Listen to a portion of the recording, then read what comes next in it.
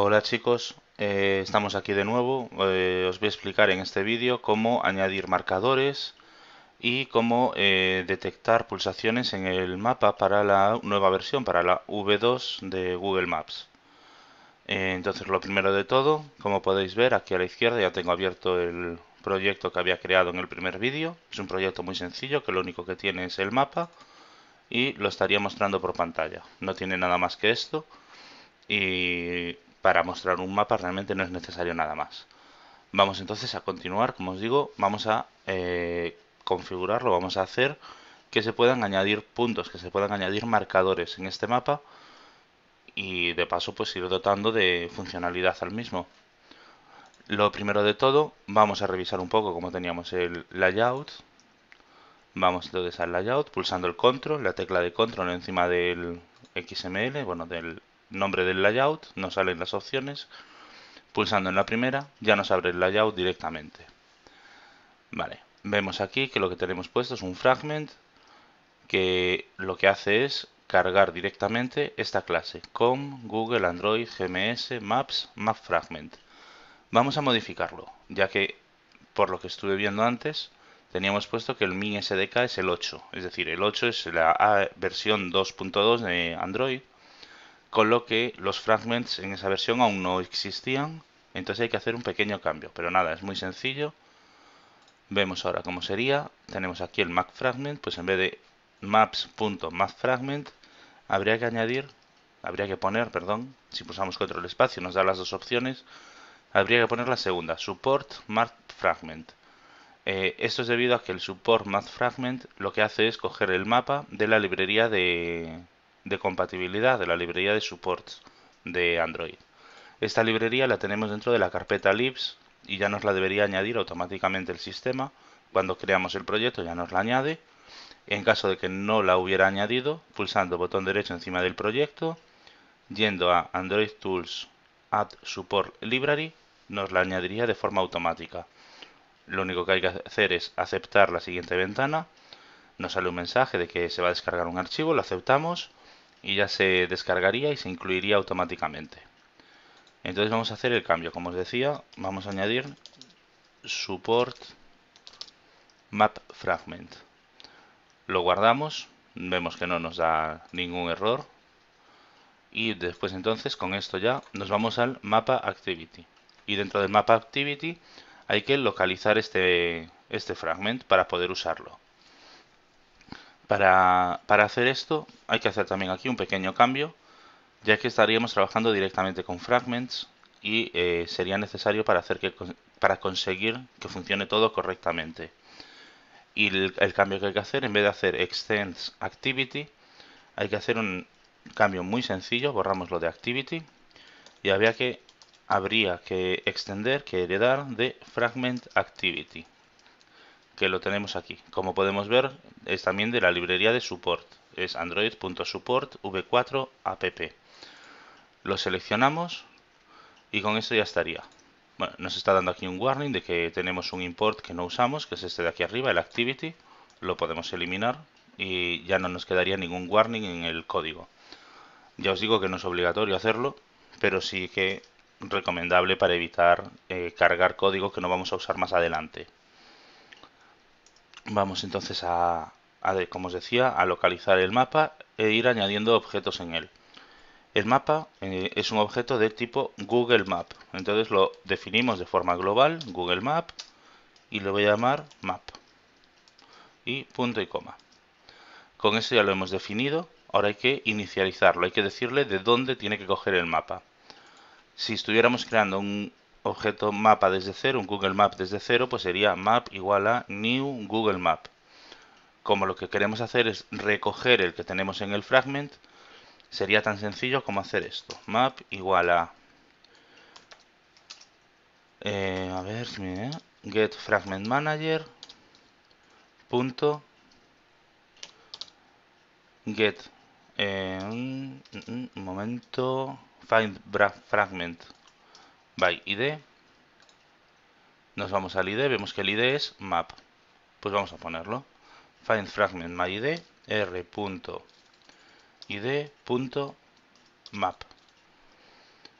Vemos que nos está dando un error, es normal. Nos ponemos encima. Nos dice que nos dice aquí change tab of map to fragment.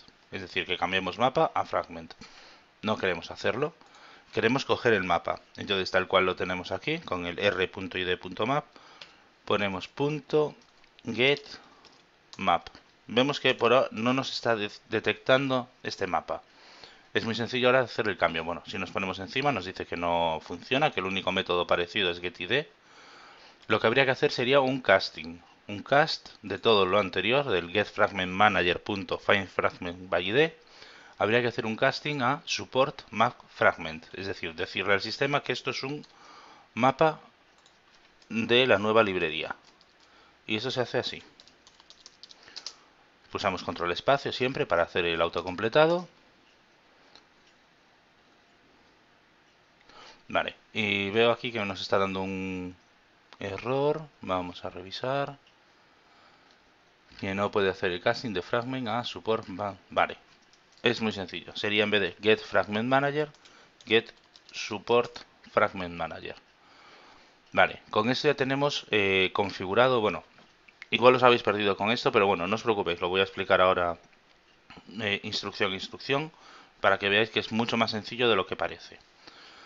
Eh, yo al principio había puesto get fragment manager y me ha indicado que no existe, que no es posible, ya que el support, perdón, support map fragment no está incluido dentro del get fragment manager, ya que el fragment manager devuelve fragments, no support fragment. Esto es debido a que el get support fragment manager es el que hay que usar cuando, cuando tenemos eh, que coger código de la librería de soporte del Android Support, que es lo que estamos haciendo nosotros. Siempre que cojamos código de la librería de soporte, siempre tenemos que llamar a get support fragment manager. El find fragment by ID, lo que le estamos diciendo es que tenemos que coger el fragment que tenemos aquí en el layout. En este caso el ID es map, pero bueno, podría ser cualquier otro ID, lo configuramos conforme al ID que hemos puesto nosotros y ya estaría. Después hay que hacer el casting al support map fragment. Este casting yo lo he hecho manualmente, pero bueno, podríais hacerlo de, de forma automática. Si en este caso no nos ha dado la opción porque hemos hecho todo en una línea, pero podríais haber hecho en dos pasos. En el primer paso, aquí encima, localizar el support Mac fragment solamente con esta parte del código. Y en la siguiente línea, aquí, en el momento de inicializar el mapa, sería cuando tendríamos que coger el objeto del support map fragment creado antes y hacer punto .getMap. De esta forma es un poco más paso a paso, se vería un poco mejor, pero bueno, ya os digo que total la definición, la inicialización, perdón, del mapa es solamente esa línea, ya no lo vamos a necesitar inicializar en más puntos. Vamos entonces a vamos entonces a continuar. Lo siguiente entonces, ya tenemos el mapa definido y localizado. Vamos entonces a crear un marcador para poder mm, pasárselo al, al mapa y que nos lo muestre en pantalla. Entonces vamos primero de todo a crear un... Ah, bueno, vamos primero antes de nada a ver la API. Vamos a ver cómo, cómo se realiza, así de paso también lo veis vosotros. Y, y, ya os digo que vamos a hacer un pequeño ejemplo de añadir dos o tres puntos y, después crear un evento de clic encima de un marcador para que veáis cómo funciona y un evento de clic encima del mapa también para que veáis cómo detectar estas pulsaciones. Vamos entonces a la documentación, como os decía, ya lo tengo aquí cargado. Vemos aquí, bueno, para crear un mapa sería dentro de, la, de la documentación de Maps V2 en Drawing on, a map, on the Map, perdón, escribiendo, dibujando en el mapa, la categoría de Marker, marcador. Vale, aquí vemos que nos da pues el pequeño menú. Vamos a ir lo primero de todo, como os he dicho, vamos a añadir un marcador. Entonces bajamos un poco y aquí lo tenemos. Como podéis ver, ellos hacen lo mismo. Localizan el mapa, lo inicializan con el getMap del fragment y lo que hacen es map.addMarker y crean un New Marker Options con las distintas opciones. Yo en vez de hacerlo directamente todo en una línea, voy a hacerlo en dos pasos. Primero voy a crear, el Marker Options y después vamos a añadirlo al mapa. De esta forma podéis ver cómo es muy fácil configurar un marcador en esta nueva librería, en esta nueva versión, y que podéis configurarlo casi todo. Vamos entonces a empezar con ello. Nos volvemos de nuevo a Eclipse y como os decía vamos a crear un marcador. Entonces marker options y le llamo pues por ejemplo marker 1 igual a new marker options con esto ya lo tenemos ya estaría creado el objeto y a partir de aquí sería solamente ir configurando los distintos datos que queremos mostrar. Vamos entonces lo primero que suele ser lo normal a indicarle un título. Marker 1 title y en el título aquí le pasamos la cadena que queremos mostrar. De tipo string lo que vayamos a mostrar pues lo pondríamos aquí. Pues por ejemplo vamos a poner algo muy sencillo marcador 1 punto y coma. Vamos a añadir pues por ejemplo la descripción un snippet que se llama que es lo que le llaman ellos tenemos aquí snippet pulsamos y el snippet es lo mismo es una descripción es también de tipo texto y vamos a ponerle Vamos a, ahora os digo cómo localizar una latitud y longitud en Google Maps, en la versión de web. Pero bueno, vamos a definir uno, por, ejemplo, en Madrid. Ahora os digo cómo, solicitar estos datos en la versión de Google Maps, ya que es necesario para localizar el marcador, decirle las coordenadas. Y como os digo, pues va, para decirle las coordenadas, sencillamente es poner el nombre del marcador, punto, position y vemos que nos pide un objeto de tipo lat lng, es decir, latitud, longitud. Este objeto sería el equivalente en la versión V1 al geopoint. Sería el equivalente, es decir, necesitamos una latitud y una longitud para definirlo. Voy a cancelar esto, no, no voy a ponerlo directamente, os voy a enseñar cómo definir un objeto lat lng. Aquí lo tenemos. Le voy a llamar posición 1 igual a new lat lng y nos pide dos variables de tipo doble, es decir, decimales en coma flotante. Lo, que vamos a añadir aquí son las coordenadas. La primera es la latitud y la segunda es la longitud, en el mismo orden en el que pone aquí el nombre de la clase, lat long. Y cuando lo tengamos creado, se lo vamos a pasar al, al marcador. Vamos a decirle que tiene que cargar aquí posición 1 entonces vamos a hacer el paso que nos está dando error, que es decirle las, coordenadas. Vamos entonces, como os he dicho, a la versión de maps.google.com, a la versión web de mapas. Vamos a decirle Madrid, buscamos y aquí nos está localizando directamente en Madrid. Realmente aquí, por lo que podéis ver, no nos pone en ningún punto donde está la latitud y la longitud. Para hacerlo tendríamos que hacer lo siguiente. En un punto cualquiera del mapa donde queremos centrar, donde queremos poner el, marcador, pulsamos botón derecho y pulsamos Center Map Here. De esta forma parece que no ha cambiado, realmente internamente el código no ha cambiado, pero si lo intentamos enlazar pulsando este botón que pone Link o enlazar, nos pone aquí un URL, una URL muy larga con la pregunta que hemos hecho, la búsqueda. Nos pone aquí el HL, que es el idioma. Eh, y después aquí nos pone dos valores. LL le ha llamado. Y pone menos 40 con 4,1 de más. Y menos 3, perdón, menos 40 no, 40 con 4,1 y pico menos 3.703. Esto es lo que necesitamos. Esta es la latitud y la longitud. Entonces vamos a copiarla. La seleccionamos y la copiamos. Vale, he copiado todos los caracteres. Nos volvemos de nuevo a Eclipse y lo vamos a pegar. Y como lo he copiado justo los caracteres con la coma intermedia, pues ya estaría. Realmente la coma es la que separa los dos campos. Y con esto ya tendríamos la latitud y la longitud. Mm, si no recuerdo mal, creo que los dan en el mismo orden, pero bueno, esto lo vemos ahora en el momento de ejecutarlo. Vemos si el punto nos lo crea en Madrid o nos lo crea en medio del Atlántico. Vamos a, vamos a continuar. Como os he dicho, ya tenemos el título, ya tenemos la descripción, el snippet y ya tenemos la posición.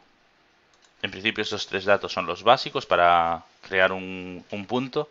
Bueno, realmente el título y la descripción son opcionales. No sería necesario introducirlos. Lo único siempre, siempre sería la posición. Este dato siempre es obligatorio introducirlo y si no lo introducimos nos va a dar error. No podemos crear un marcador sin una localización. Como ya lo tenemos creado, lo que voy a hacer es, como dije antes, añadirlo al mapa. Entonces pongo map, que es mi variable, mi objeto de Google Map, punto add marker y me pide un marker options que es el que yo había creado sería marker 1 pongo punto y coma al final.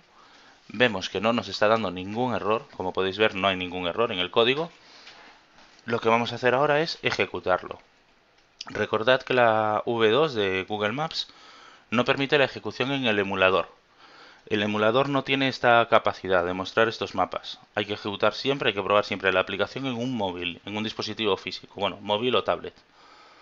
Que tenga siempre, tiene que tener el Play Store instalado, que es desde donde se descarga la librería automáticamente el sistema. Entonces, con esto ya creado, con el código ya puesto, vamos a ejecutarlo. Pulsando botón derecho encima del proyecto, Run As, Android Application. Como vosotros no podéis ver la pantalla del móvil directamente, os muestro aquí la captura. Sería pulsando aquí. Y bueno, aquí vemos que nos lo está creando correctamente donde le dijimos. Vemos también que nos pone automáticamente un marcador por defecto, que es el típico marcador de, Google de los mapas, el icono. Eh, es de color rojo, se puede configurar, os digo ahora cómo cambiar el icono. Pero bueno, vemos que realmente el marcador nos lo añade correctamente aquí donde, donde le hemos dicho nosotros. Pulsamos Down para completarlo y nos volvemos al código. Vamos a modificar este marcador para ir dándole distintas configuraciones. Y ya os digo que esto es muy sencillo, por eso lo he hecho así, en, dos pasos. Para cambiar, pues por ejemplo, lo que os decía ahora, el icono, la imagen. Y vamos a poner otra basado en el mismo icono, pero con otro color. Eh, para esto lo único que hay que hacer es decirle al sistema que use los colores que tiene ya dentro de la librería, por así decirlo. Entonces ponemos marker1.icon y aquí pues le decimos, eh, a ver si me recuerdo, un momento porque no me acuerdo de memoria, vamos a la API, siempre tenéis la API delante. Y tenemos aquí los distintos códigos, vale, aquí estaría bitmap descriptor factory punto default marker pasándole el color. Entonces, pues vamos a hacerlo. Vamos a Eclipse bitmap descriptor factory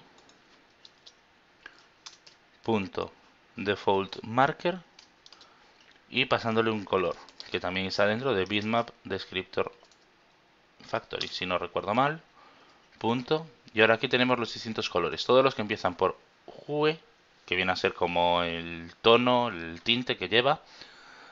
Tenemos azure, tenemos blue, cian, verde, magenta. Como podéis ver tenemos bastantes. Vamos a seleccionar el color azul. Pulsamos punto y coma y lo vamos a ejecutar tal cual está ahora para que veáis que realmente sí que se ha cambiado el color del marcador y ahora el marcador va a ser de color azul nos volvemos a la ventana de DDMS y actualizamos la captura. Vale, y aquí tenéis la captura, como os he dicho, de color azul. Eh, realmente, como veis, es muy sencillo añadir los marcadores por defecto del sistema.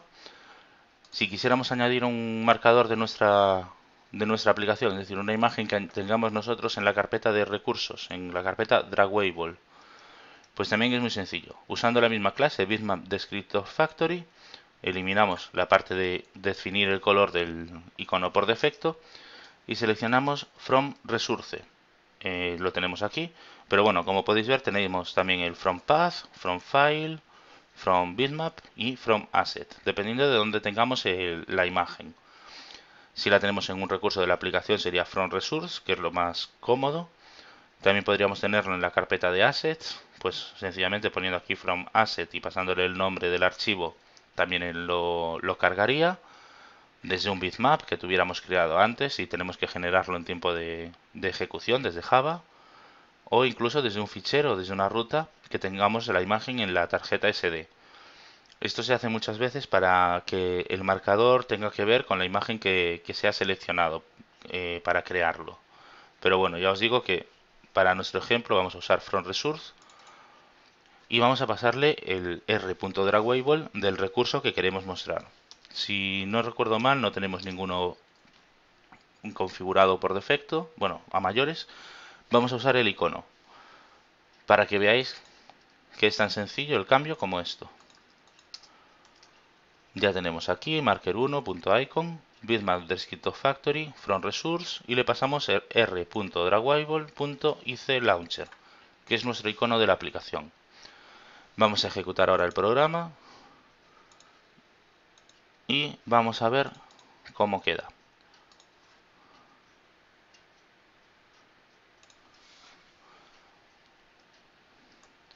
Vale, aquí lo tenemos. Como podéis ver, este icono en sí no está pensado para mostrarse sobre un mapa, pero funciona perfectamente. Una cosa no quita la otra. Es una imagen, cualquier imagen se puede usar como icono, sea del tamaño que sea. Lo que pasa es que hay que tener cuidado que el tamaño no, no exceda pues, de los límites que tenemos, que estamos mostrando. Pero bueno, normalmente un icono suele ser una imagen pequeña, así que no suele haber problema en ese sentido. Y en principio, como esto es bastante fácil, voy a volver a ponerlo con el icono de color azul. Ya que me parece el más sencillo, estoy haciendo control Z para volver a tener, ponerlo como estaba. Eh, lo estoy poniendo de color azul para seguir viendo las distintas propiedades que tienen los marcadores para que veáis todo lo que se pueden llegar a hacer con ellos. Entonces ponemos aquí un intro, bueno, dos, para separarlo. Y vamos a ir a la API de Google Maps para ver qué más configuraciones se pueden hacer. Vale, como os he indicado, ya hemos cambiado el icono, que sería el Change the Default Marker y vamos a revisar. Vale, tenemos aquí la opción, la categoría de Customize a Marker, es decir, mm, personalizar el marcador. Y nos indica todo lo que podemos cambiar. Podemos cambiar la posición, que como os había dicho antes es obligatoria, required. El título, el snippet, que es la descripción.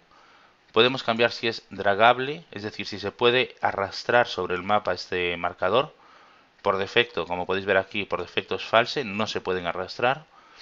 Si quisiéramos arrastrarlo, pues por ejemplo sería en una aplicación en la que el usuario tenga que elegir el punto, pero para elegir el punto tenga que arrastrar el marcador a donde lo quiere tener. No solamente el pulsar en un punto concreto del mapa, sino que lo tenga que llevar a donde quiere, a donde queremos que lo ponga. Podemos poner que sea invisible, si por cualquier razón pues no queremos que el, que el marcador se vea en un momento concreto, ponemos punto visible y entre paréntesis false. Y con eso ya lo volveríamos invisible. Eh, esto se suele hacer cuando queremos cargar varios marcadores, pero queremos que solo unos pocos estén visibles dependiendo de las condiciones que seleccione el usuario. Pues imaginaros una aplicación de eh, qué locales tienes disponibles en la zona, que solamente esté mostrando en un momento dado los restaurantes o los locales de copas. Pues con esto lo podríamos gestionar sin tener que generar de nuevo todos los marcadores necesarios. Crearíamos todos los marcadores, pondríamos todos como invisible y dependiendo de lo que elija el usuario volveríamos visibles unos u otros. Mm, vale, vamos a continuar. Eh, el anchor, el anclaje. Esto lo que viene a decir es dónde está el punto que se está, por así decirlo, seleccionando con la imagen. Por defecto siempre este punto, vemos aquí, el defecto es el centro debajo de la imagen. Si os dais cuenta en el marcador eh, principal, en el marcador de, original de la aplicación, voy a ejecutarla, sería, en el, como digo, en el marcador original sería el punto donde hace contacto el marcador con la tierra sería aquí, abajo. Este sería el centro, centro de ancho, es justo el punto central, el eje, y sería en la parte de abajo. Como os digo, esto se puede cambiar. Se puede hacer que en vez del punto de abajo aquí, pues si nuestro icono es un redondel, una especie de punto de mira, pues se podría decir que sea el centro total, centro en horizontal y el centro en vertical. Solamente habría que configurarlo usando el método anchor. Sería marker1.anchor y aquí en float arg0 y float arg1. El valor hay que dárselo en porcentaje, es decir, 0.5 sería un 50%, que es la mitad. Entonces, si quisiéramos hacer lo que yo os acabo de decir, sería 0.5, 0.5. Y con eso centraríamos... Vale, me está dando error, vale, me está diciendo que no se puede para los argumentos, vale. Eh, vamos a poner F y F. Vamos a obligarle a que sea de tipo float. Si le ponemos esta F después, lo que hace es convertir el número que hay delante a float automáticamente. Sin importar lo que, indique el número. Podría ser incluso un número entero y también valdría esta conversión directa. Y con esto, como os he dicho, lo que conseguimos es que se centre en, en la imagen el 50% y en el 50% en el otro sentido también. Eh, en principio os digo que no hay muchas más opciones de configuración porque el icono ya lo hemos visto. Y realmente el marcador es esto, no tiene nada más. Hay una cosa mayores que en la librería anterior no tenía, la versión 1, que es que en la versión 2 nos muestra una ventana de información si pulsamos encima del punto. Entonces, yo ahora acabo de hacer la pulsación en el, en el mapa de la aplicación que estoy ejecutando os actualizo la captura y veréis cómo queda. quedaría así.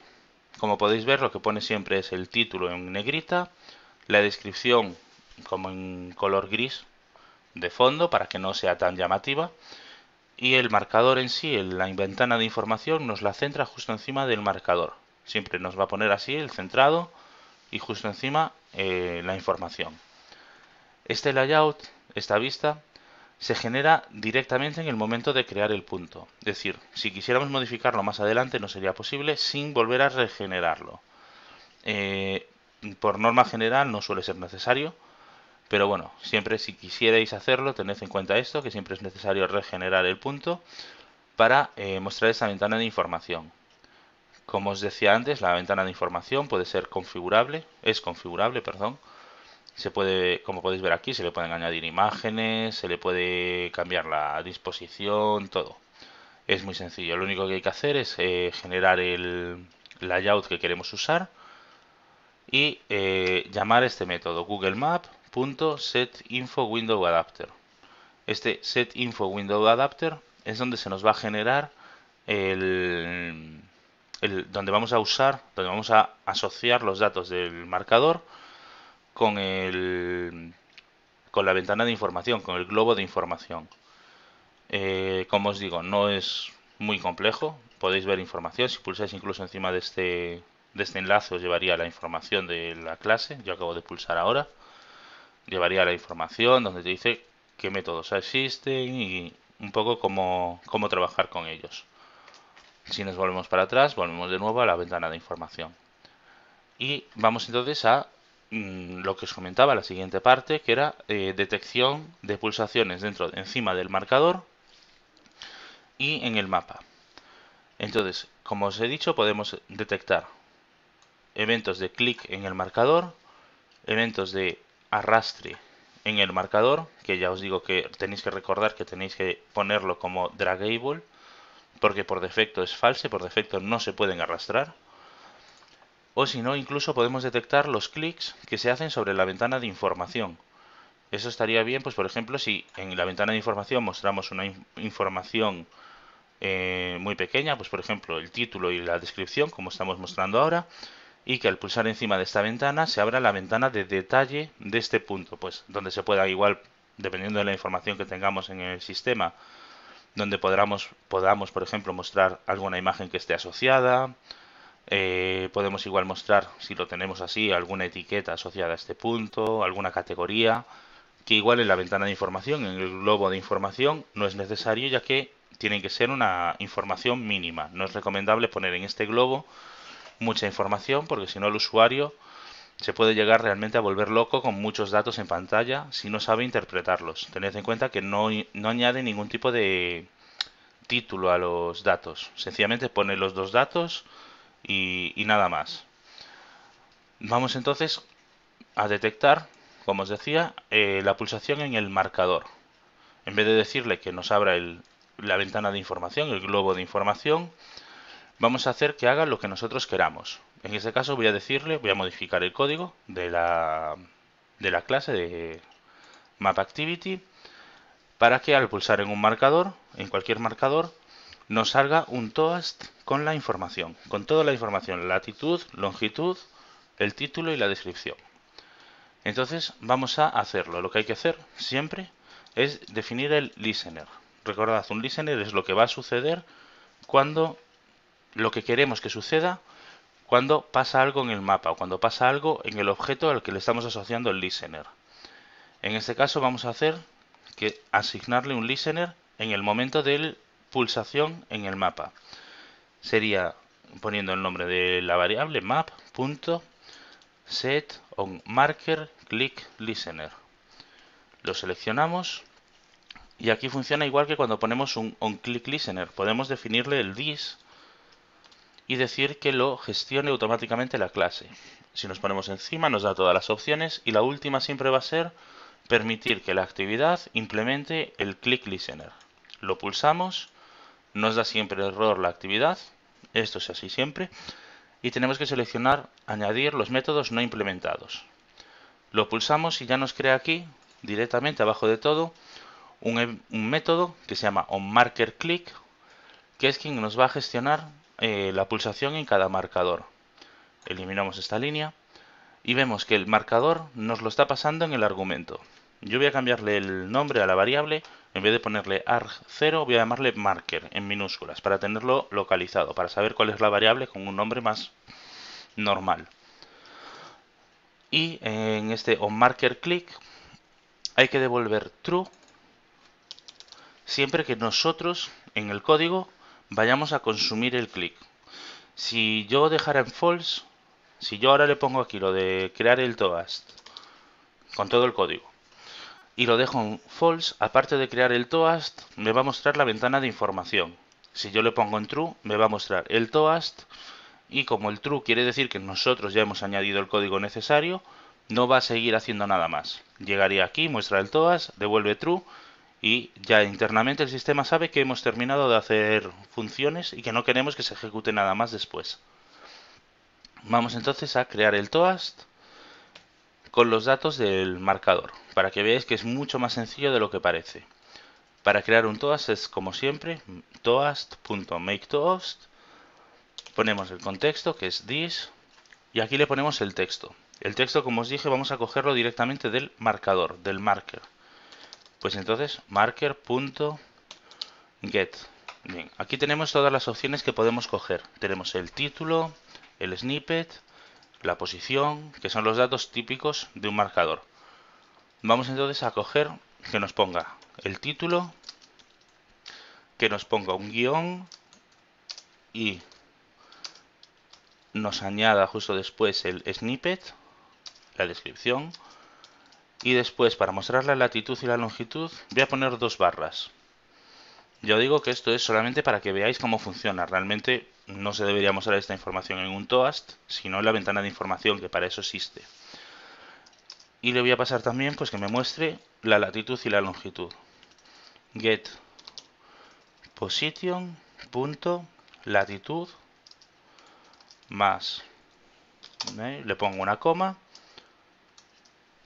marker punto get position punto longitude con esto ya hemos dicho, el formato, como os he dicho, sería el título, un guion, eh, la descripción, dos barras, la latitud, coma y la longitud. Ya os digo que esto es un ejemplo, no, normalmente no tendréis que poner esto, pero bueno, esto es para que veáis cómo, cómo funcionaría, cómo quedaría. Y hay que decirle un tiempo en el que queremos que se muestre este toast, vamos a decirle length short, poquito tiempo y el punto show, que nunca se nos olvide cuando creamos un toast de llamar al método show para que lo muestre.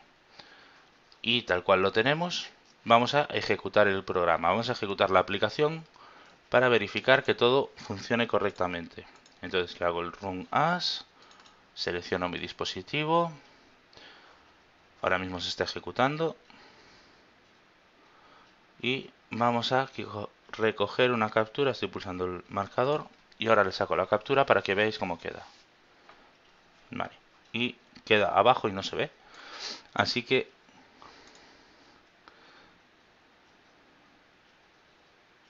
vamos a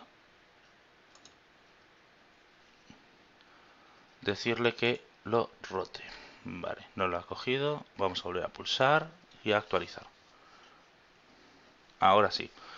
Eh, ya os digo que está rotado para que quepa en pantalla, ya que la resolución del móvil, el Nexus 4, es más que la resolución de la pantalla en esta orientación. Entonces, como podéis ver, aquí nos pone los datos. Ya os digo que realmente es difícil de ver, pero bueno, vemos aquí que pone marcador 1, el guion que os comentaba, la descripción, que es este marcador está en Madrid, las dos barras y después la latitud, coma y la longitud. Como podéis ver nos añaden muchos más decimales, es normal, esto es porque el mapa al no ser perfecto, por así decirlo, el tamaño de pantalla no es múltiplo exacto del tamaño de las imágenes que se muestran, de lo que es el mapa por debajo, nos hace unas pequeñas correcciones para poder mostrar el marcador correctamente y que no queden entre dos píxeles y que quede deformado la imagen. Entonces con esto, como podéis ver, el detectar un clic en el mapa es muy sencillo. Lo pondríamos dentro de este método. Bueno, definimos el listener, añadimos el método, el onMarkerClick y en este momento ya tenemos toda la información del marcador dentro de, del método. Ya nos lo pasa automáticamente el sistema. Y eh, el siguiente punto, como os he dicho, vamos a detectar cuando se pulsa en cualquier otro sitio del mapa. Es decir, no en el marcador, sino cuando pulsamos fuera, donde no hay marcador ninguno. Para eso mm, nos volvemos a ir a la documentación de la API. Aquí en esta página ya no hay más información, como podéis ver. Para detectar cuando se pulsa en la pantalla, tendríamos que ir a la categoría que pone Interacting with the Map. Interactuar con el mapa. Pulsamos en él y vemos que tenemos aquí en el menú varias opciones, por ejemplo, eh, zoom, controles de zoom, el compás, un botón para la localización propia del móvil, eh, gestos en el mapa por si queremos detectar cuando se está haciendo zoom, cuando estamos girando la vista, o incluso los eventos, que es justo lo que yo quiero quiero un evento cuando se pulsa en el mapa o cuando se pulsa más largo, un long click. Lo que voy a usar es el click, map click. Para, hacerlo es tan sencillo como definir otro listener. El listener que vamos a usar sería onMapClickListener. Click. Vamos entonces al código y vamos a añadirlo para que veáis qué es lo que nos, lo que nos pone. Ponemos aquí map.set onMapClickListener. listener pulsamos ponemos también this, punto y coma, y el mismo error que antes, que es que no existe este listener aún, hay que decirle que lo implemente.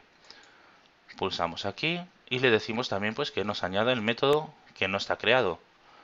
Y entonces ahora si bajamos, vemos que nos ha creado un método o map click al que le entra un lat lng, es decir, una localización latitud longitud.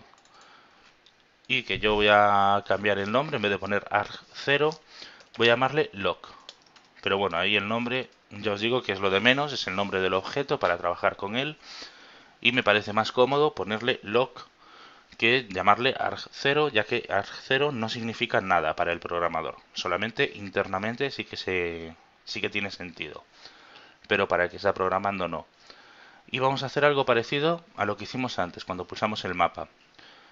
Eh, lo que voy a hacer es mostrar un mensaje, un toast, indicando la latitud y la longitud pulsada. Entonces vamos a hacerlo, toast.makeTest, el contexto le paso this y le voy a pasar entonces, como os he dicho, voy a mostrar, perdón, por pantalla la latitud y la longitud. La latitud y la longitud están dentro del objeto lock que tenemos ahí, que es el que nos pasa el sistema. Y sería lock.makeTest latitude, le pongo una coma para separar ambos campos y log punto longitude. Con eso ya nos va a mostrar la latitud, una coma y la longitud, que es justo lo que queremos para, para mostrar por pantalla. Realmente no hay más datos al pulsar en, un mapa que esos. es decir, el punto donde hemos pulsado.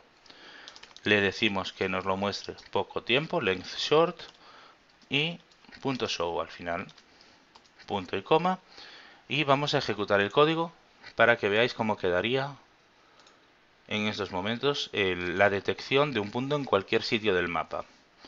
Vamos a la ventana de DMS. Voy a pulsar, pues por ejemplo, encima de mm, Alemania. Y saco la captura de pantalla y la roto para que veáis cómo queda. Y aquí veis la latitud y la longitud de este punto pulsado. Aunque no se vea el marcador, yo he pulsado aquí donde pone Deutschland, Germany y me ha indicado estos datos, estas coordenadas. Como podéis ver, después de esto es muy fácil trabajar ya con un mapa. Podríamos crear un marcador.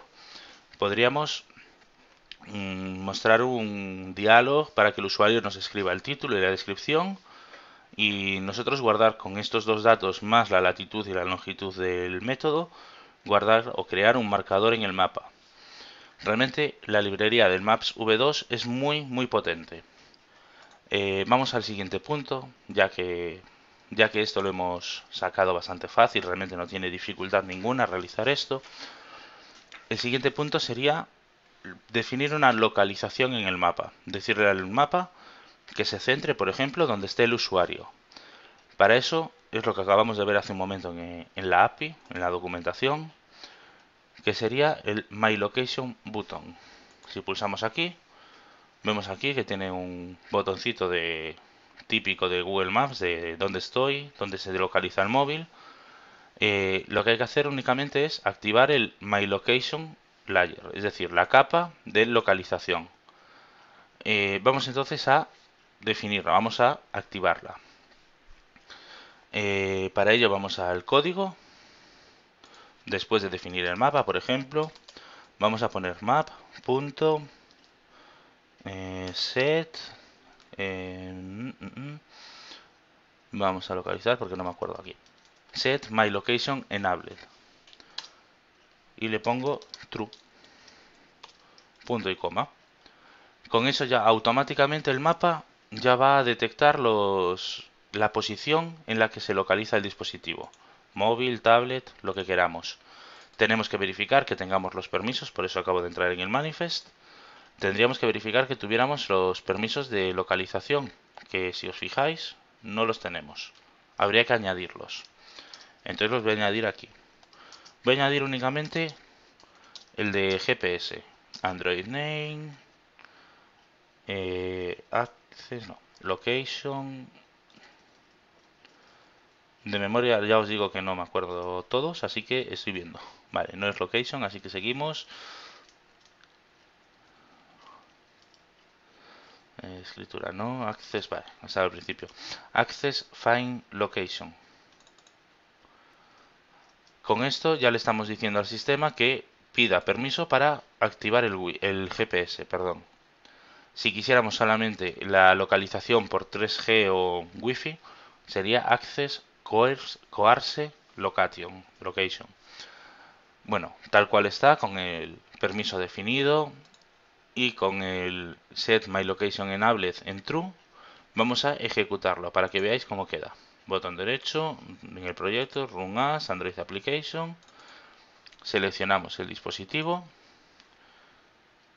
y nos venimos para aquí. Vamos a sacar una captura.